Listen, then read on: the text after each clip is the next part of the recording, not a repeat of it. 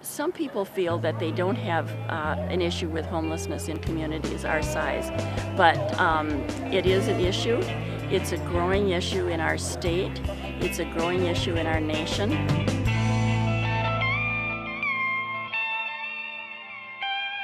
There were people here who said we don't have homeless people in Grand Rapids. Um, I don't see any. I drive around all the time. And, and what I think what they were looking for was people pushing shopping carts that were dirty and scraggly, and that isn't who stays at Grace House. That isn't what homelessness is all about. It's people who had an illness, people who lost, lost a job, people who, because of um, mental illness or challenges, can't uh, afford a place to be all the time. Um, so they're people that you wouldn't recognize uh, going to Walmart and you know pick them out. Uh, you you couldn't do that, and so homelessness in that sense is kind of hidden.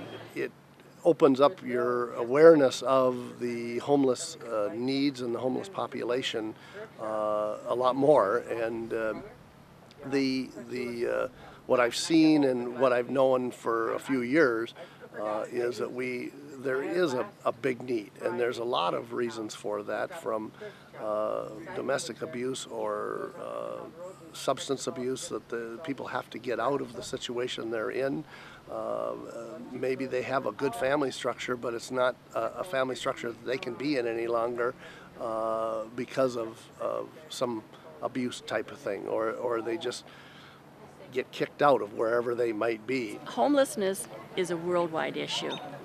Um, I think for many years we hid the issue in our communities. Um, when I grew up in Wisconsin, I lived uh, somewhat near a railroad tracks, and we would see hobos coming through the community, and that was our only connection in small communities with homelessness. And then as we got older and went off to college and university and so on, we saw folks that were on the street and so on, and it became more and more uh, recognized as an issue. In our community, some of those issues are the, the lack of enough affordable housing for folks. Um, there's issues with uh, uh, dependency on alcohol and drugs, family dysfunction, persons who are dealing with mental illness.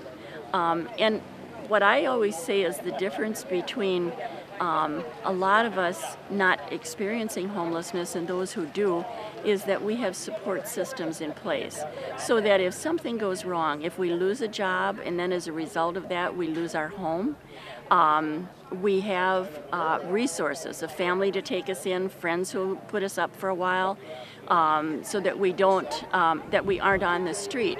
But for a lot of folks, they don't have those support systems, and so they wind up, they come to Grace House. It's, it's an issue that's grown in our communities. Veterans homelessness has become a big issue um, as a nation and as a state. It's, um, it's become an issue where we have made a big difference because there's been a focus on it. Uh, government has focused on it. We've provided some resources. Many nonprofits have started working and focusing on homeless uh, veterans and helping that issue. So that's helping. All of us could be homeless at some point. We had an art exhibit or photography exhibit about homelessness at MacRostie Arts Center in the last year. And I had three folks from the community who came up to me quietly and said, Barb, I don't know if you know this or not, but I used to be homeless. You know, after my divorce, I lived in my car for six months. One other person said, I slept in the library at the university for many, many months because I was in an abusive relationship and I didn't have any place to stay didn't have any money to do a down payment on a house, you know, or housing or whatever. Uh, and other people told me those stories. And these were folks who had, um, uh, they were directors of organizations and they had they had their life back in gear and, and had good jobs and are, you know, folks that we say, wow, they're really doing a wonderful job. But in their past, they've experienced homelessness. When I was still serving here, um, there was no homeless shelter. And we would consistently, I would consistently come to work, find people sleeping like in their vans in our parking lot, or at times when it was warm enough, leaned against the building outside our building. And you know, what could you do? The nearest homeless shelter was in Virginia or Duluth. And if people didn't have a place to stay, they didn't have gas money to get there. And so I thought, "Eh, we've got to do something. I mean, this just is not okay. I looked at opening our building, but it would have cost us, as I looked at insurance and what would they require, $60,000 a year, which we didn't have. Um, so then we just got a group of people together, and there was a, a large group of people of the community that just talked, it seems to me, for years. Um, it was over one year, but I'm not sure how long. But what can we do and how can we do it? And um, a lot of good people, a lot of good ideas. And our first thought was um, to go from church to church, be at this church for a month, move on to that church for a month, do one of those kinds of things. Um, and, and we got to that point and kind of got stuck a little bit. And Zion had just added on to its building, had a lot of space. We were one of the larger space wise buildings in the community. And so I talked to my council about could we open our doors and let Grace House get a start here? I mean, maybe this will be what they need. Um, and so my council agreed that for the first six to 12 months, Grace House can be at Zion. If you go to uh, some of the large cities in our state and across the nation, you see what we call homeless shelters. And what they are is maybe a big gym or a big room. And at nighttime, you know, nine o'clock at night, they, um, and, I, and I don't say this disparagingly, this is, this is better than being on the street, a thousand percent. They put some mats down on the floor, and people are welcome to stay the night. Uh, when they use up the mats, then those folks are still back on the street, you know. But then at 7:30 in the morning, they're they they say goodbye to them and they're out on the street and there's no meals there's no support systems etc or very little of that. So it's a place to just sleep. Where at grace house we tend to think of this as a home for people a home for 30 days at a time. And the the importance of a place like grace house is not only just providing the bed uh, a safe, comfortable bed with homemade quilts. Um, you know, we don't pamper guests at all, but we try to make it a, a, a comfortable family setting for people, especially with children. Um, some people who have lived all their lives on the street, this is their first opportunity to have a home. We provide three hot meals a day that are, are, are cooked by our uh, volunteers and staff. Uh, guests also help with the cleanup of the building, so like part of a family. They scrub the floors, they help with dishes, they do all those good things as family members do. Um, and then we work with them on a daily basis. They have plans, what we call a recovery plan or whatever. Um, we have had different names for it through the years. But what it is is a plan for them to be uh, engaged with people who can may help them with finding a job, may help them secure uh, safe housing in the community, whether that's an apartment or a supportive housing unit or whatever that's appropriate. Um, and then we provide case managers and so on come into Grace House. We have wonderful people. Um, I'll just say Audrey Moan is, is an angel who comes in, and others uh, in her agency and other agencies that come in and work with our clients and are connected with them to help them um, uh, connect with the resources in the community, whether it's mental health care or um, just general counseling or uh, get them into um, AA or NA groups if that's appropriate. And we have pretty strict standards at Grace House because we are a family facility and we have young children and so on. So we you can't you can't come directly from a facility um, and and come here immediately or whatever, um, etc. So you have to be working on your life before you're you're qualified because we're concerned that everyone is. Uh, feels safe here, eh, both staff and our guests. And, and at the very beginning, it was like um, from 4 p.m. until 7 a.m. And then they would have to go someplace during the day. Um, so that's how we got our start was using Zion. It shortly became no, we needed 24 hours because there were families with little kids that were in there as well. Um, and so uh, Grace House became identified a lot with Zion because that was where they were actually for about five years before they moved here. Um, and so after we got them in the building, Um, that group that had been meeting kind of dispersed. Um, we got a board together and a director and started going from there and then looking at okay so what do we do to get something more permanent um, but the very beginnings were um, a big group of people concerned about how do we deal with homelessness When we first opened Grace House, we had a lot of single gentlemen that came here, and now we see a lot more families. Uh, people with young children, babies. Um, I think our youngest one is sort of, you know, maybe a, a week old, and our oldest folks are in their 80s and 90s. So it, it it's the wide spectrum of our community. Um, homelessness um, is an issue that impacts all of us. It, um, as a community, um, any of us could become homeless. Um, we could have one accident, one illness, one situation that would change our lives completely and turn us into a situation where we didn't have the support and a home and, and so on. We uh, moved into this facility back in uh, uh, tw- late 2011 and uh, basically January of 2012. Uh, we had been housed at the Zion Lutheran Church for many years uh, prior to that, and in fact, since Grace House started. And it was apparent that we weren't going to be able to stay in the church forever. It wasn't uh, the best fit. Uh, Zion treated us very, very well and uh, um, uh, did great things for, for Grace House. The, to move into our own facility was something that gives us some independence and uh, um, the ability to do other things than, than what we could do with uh, at Zion. And so it's, uh, it's worked well here. And I think in this part of the country where it is cold, um, you know, we're not going to have lots of people that are coming here as well. And people tend to, I think, in the wintertime, open their homes a little bit more so that people who don't have a permanent home can stay there for a while. But that gets old, and so then you can do some couch hopping for a while. But where do you go? Where is home? Um, and so Grace House has filled that need. Um, and and um, started out, and I think it still is 10 beds, maybe it's a little bit more than that now, but um, filled a whole lot and serves a great purpose in the community. And I think the community is better because there is a homeless shelter for people to feel welcomed and a place to stay, an address to give an employer. Um, so it's I'm just pleased with where Grace House is today and, and what it's done.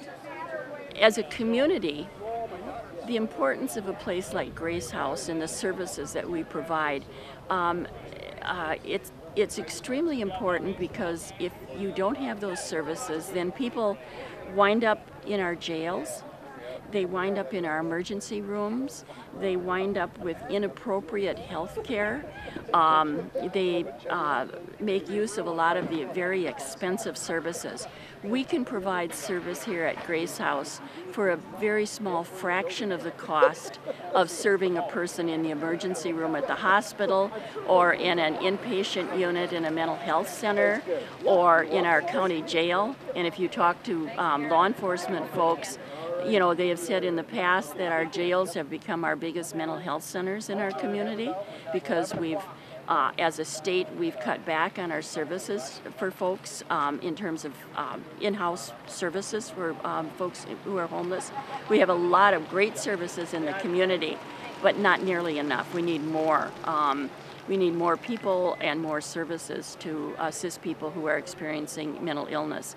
Um, so that's a big issue in our community. And what happens is if we don't have a place like Grace House to welcome people as our guests for 30 days at a time, help them get back on their feet with, help them move into uh, uh, supportive or uh, more permanent housing, help them move into jobs in the community, etc., then they will stay homeless you know they, they if you need those services to connect with the community and get your life back in order Yeah, we try and uh, to uh, make it a, a house, not not just cots on the floor or whatever. And and so uh, last, I think it was last summer, we put in the play area, we put in a garden area, uh, and uh, because we do get, uh, I don't think there's been a week in the last month that I've been here that we. Um, haven't had kids in the in the house. I mean, at some point, maybe maybe short term, uh, because they move on to family units in the community or something. But uh, we usually have uh, some kids uh, in at least once a week, and so that's a good opportunity. They they, they need to get out and run, and and get outside and, and do some things. So, uh, which is a good thing. I mean, sometimes uh, some people would have. Um, have, have an issue with that, but uh, that's what we do, and we need to, to help them feel comfortable and uh, f- uh, feel like it's their house uh, as well until they move on to something more permanent. What's great about Grace House is that people come here and they have time to sort of uh, take a breath. Uh, if you're out on the street, I can't imagine what it's like to be on the street by yourself, you know, without any resources. But people come to us, they've been sleeping out in the woods, they've been sleeping in a car, they've been couch hopping from friend to friend, etc., and they've lost those friends and so on. So um, they come to Grace House for our support.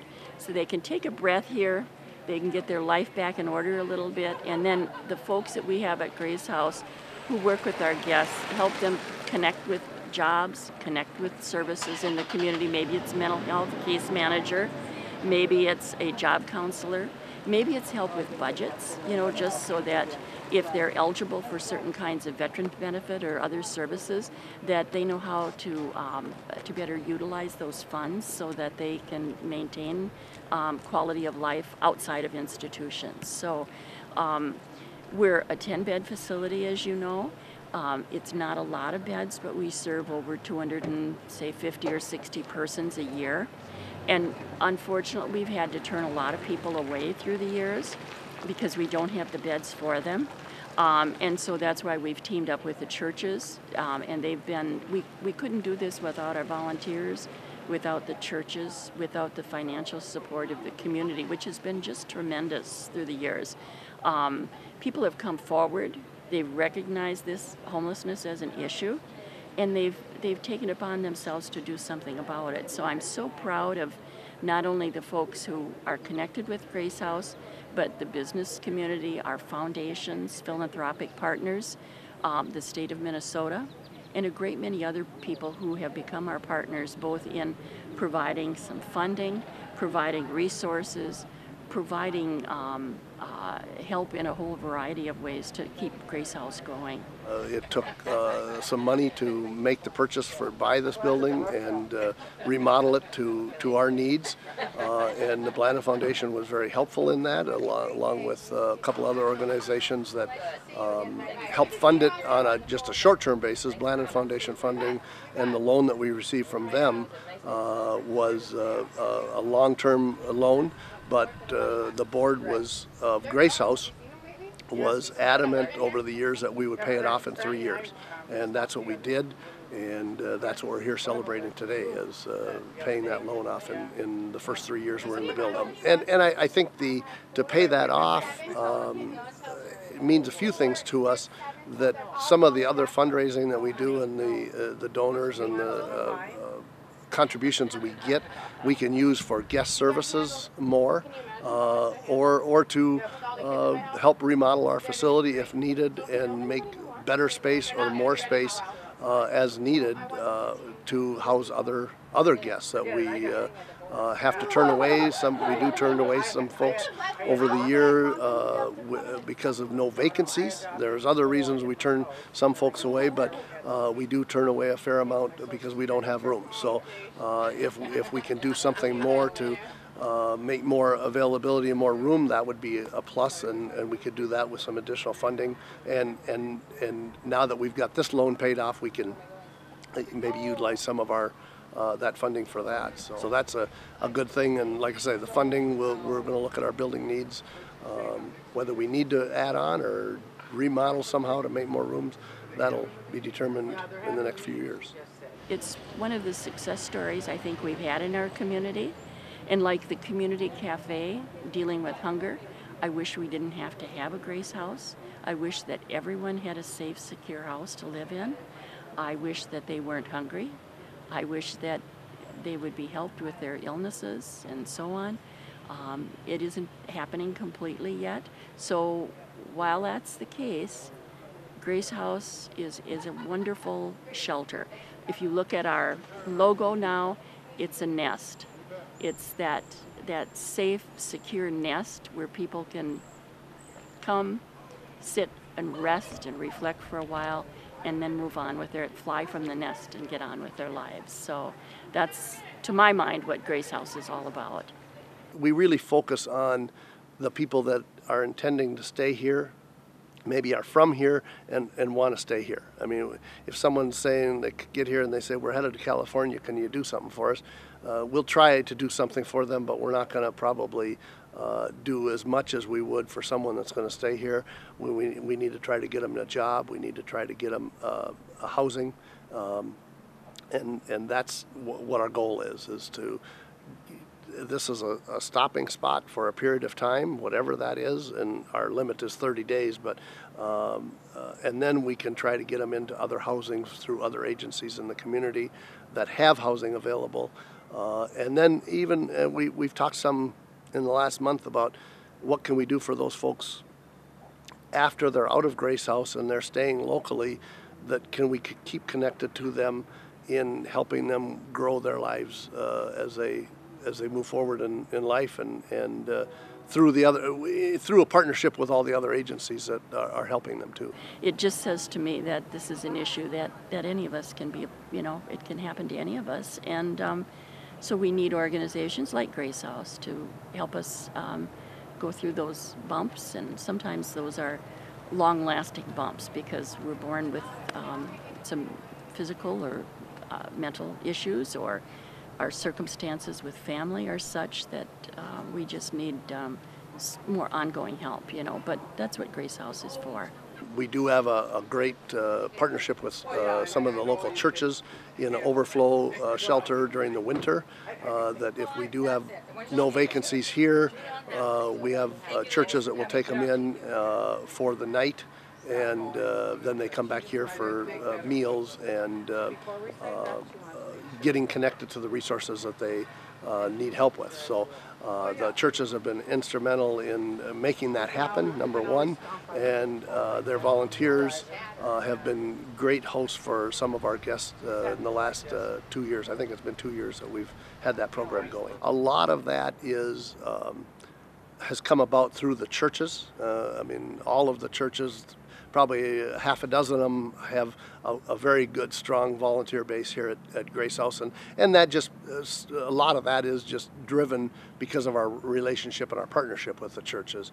Uh, but we have other people that uh, that come in. Uh, last just a week ago, we had a training with seven new people that we had never worked with before, and they had never been a part of Grace House, and they came in the door and, and wanted to be trained as a volunteer. Now they may have been uh, uh, associated with one of the churches that we work with closely, but uh, I, I can't, I don't know that at this point. But uh, but a lot of those uh, are people that. Uh, are you know maybe retired or just need another volunteer opportunity uh, to satisfy and fulfill their their life too. I wish we didn't have to be here. I wish that we had other services and help for folks, that people didn't wind up in this situation. But as long as we have dysfunction in areas and as long as we aren't providing those supports at the state and national level, and there's cuts cut back in funding, you know, in these areas, we are going to continue to have the issue of homelessness in our community. And it's an issue that all of us face, and we need to um, we need to do it together. Um, any one organization can't do it.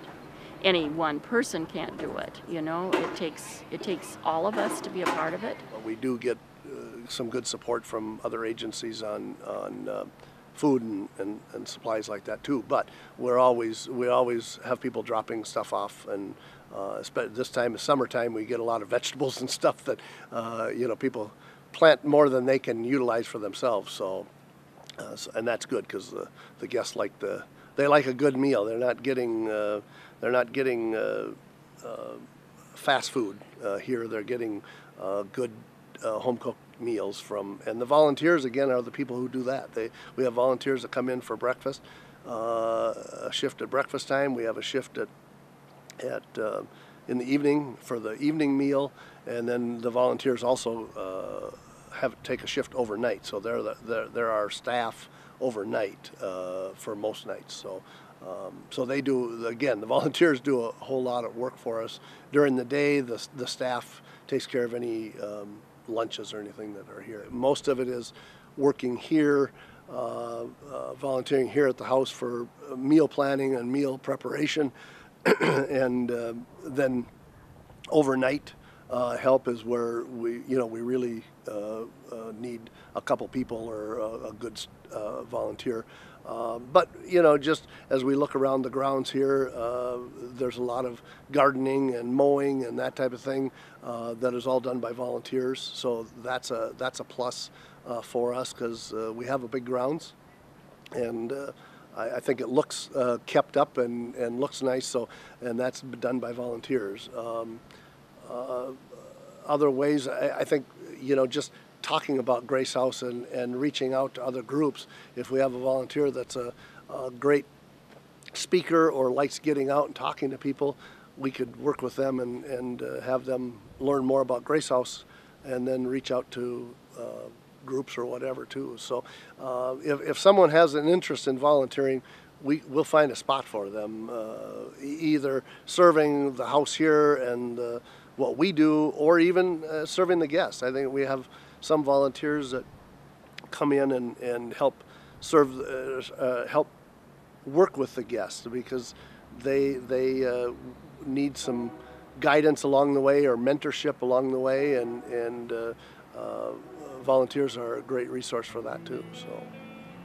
Grace House is not it's not just a shelter. It's so much more than that. It's a it's a family setting where people have an opportunity to get their lives back in order and to move on. And um, we hear stories from folks that tell us that this is the first time they've ever had a home